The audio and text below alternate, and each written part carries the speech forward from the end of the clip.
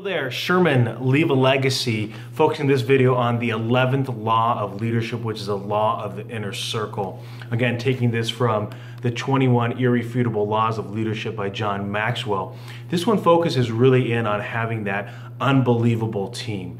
People that have a, a, trust circle where you can share what's not going well, what's what should where, where the where the organization should go, or where should go on different projects. If you read the book Creative um, Incorporate, uh, Creativity Incorporated by um, it's about uh, basically Pixar and the evolution there and how they had this inner circle when they created these Pixar movies to be able to have a look at the movie plot line and then immediately stop it if they felt like they weren't going in the right direction to make a very memorable movie. And so the the question is that as as a leader, what is your value to the team? And have you earned the right to sit at the table and give value to the organization and to the project at hand. And if you don't provide value, the question is why should you even be allowed to be a part of that team?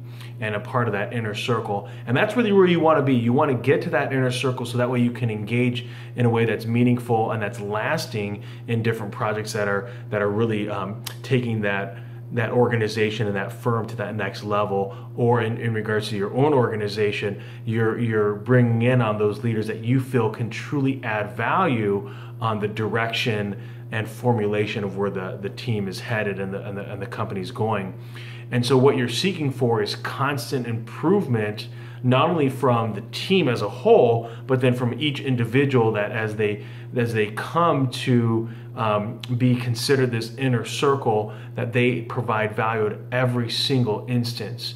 The moment that they don't, it doesn't mean that their value isn't uh, isn't isn't seen um, as, as a greater whole from the company, but their value to that specific project just isn't there. If they don't have the expertise, they don't have the skill sets, they don't have the people ability, then you want to be able to make sure that you have those right people. Um, oftentimes quoted from good to great, having the right people in the right seats is critical in this inner circle. As you think about your organization, who is in your inner circle and are they continually bringing value? And two, are you bringing value to them? Have a fantastic day.